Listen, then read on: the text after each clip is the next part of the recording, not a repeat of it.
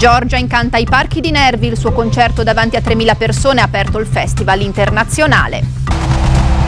E ora la musica, eh, ieri sera a Genova Nervi migliaia di persone per il concerto di Giorgia che ha aperto il Festival internazionale e riacceso i riflettori dopo anni sulle sere di spettacolo ai parchi. Rita Lucido. La voce di Giorgia spacca le ultime luci sui parchi di Nervi, le tasche piene di sassi e gli applausi di oltre 3.000 persone resteranno le prime intense emozioni del Festival internazionale. Mentre scende la sera i riflettori sono tutti per la cantante romana, da Genova inizia le tappe all'aperto del tour. Sembrano esplosioni inutili ma in certi cuori qualche cosa resterà. Trova una platea gremita davanti al palco da 16 metri in linea con il mare. Di fronte l'abbraccio di Villa Grimaldi Fassio e della collina di Sant'Ilario che rendono lo scenario unico. Ah!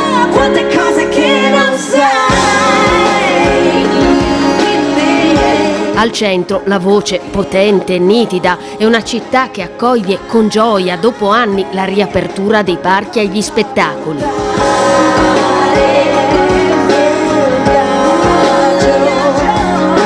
Cosa meravigliosa, un sogno che si avvera. Poi Giorgia, Giorgia numero uno per me. Siamo emozionati, da genovesi siamo emozionati. Finalmente un po' di, un po di vita anche a Nervi, no? È bellissimo, è bellissimo. Sarà contenta anche Giorgia. Eh? Andi Giorgia? Sì, sì. Noi, cioè, ogni volta che viene a Genova comunque vado a vederla. Mi ricordo anche quando c'era il cinema all'aperto, è sempre stato molto bello. Prima del concerto il saluto di organizzatori e autorità, poi solo tanta musica.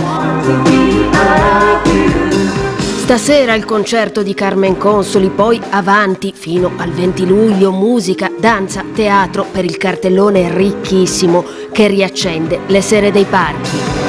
Three chains are made of